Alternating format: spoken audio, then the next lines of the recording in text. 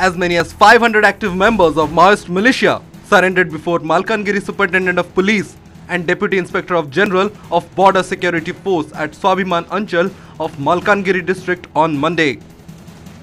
Malkangiri SP and BSF DIG gave them a warm welcome and presented gifts for joining the mainstream of the society.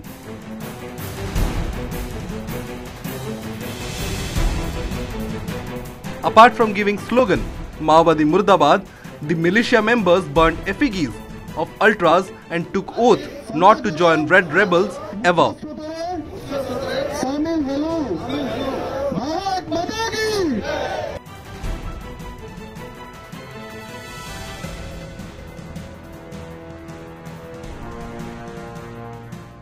BSF ତରଫରୁ ଆଜି ଯେଉଁ ଆୟୋଜନ ହେଇଥିଲା ସେଥିପାଇଁ बहुत खुशी ଖୁସି नक्सल मान डर आमे କେଉଁ ସରକାରଙ୍କୁ କିଛି ସପୋର୍ଟିଂ କରୁନଥିଲୁ।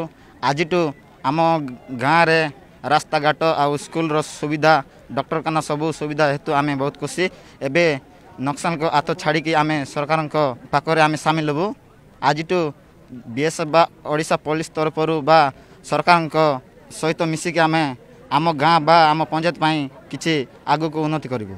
अर्लियर वो अर्लियर इस एरिया में अप्रैल एंड तक भी एक्टिविटी था। अब एक्टिविटी एकदम स्टॉप डाउन है। It is all due to कि जो जो गाँव के हैं लोग, उनको आइडिया है कि state government is helping them हर गाँव में स्कूल रोड हर चीज़ का काम अच्छे से ऑन स्पीड ऑन टाइम हो रहा है। इसीलिए कॉन्फिडेंस हम लोगों में स्टेट गवर्नमेंट में all the all the organisations जो एक्टिव हैं इधर। उनमें कॉन्फिडेंस इन लोगों का इंक्रीज़ हुआ है। स्टेप है, बहुत अच्छा कदम लिया है उन्होंने।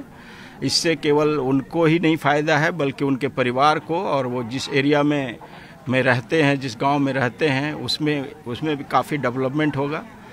ये जो हुआ है, ये बीएसएफ पुलिस, और स्टेट गवर्नमेंट और सेंट्रल गवर्नमेंट की जो कार्रवाई कर रही है, उनका एक उनकी वजह से ये सब संभव हो पा रहा है।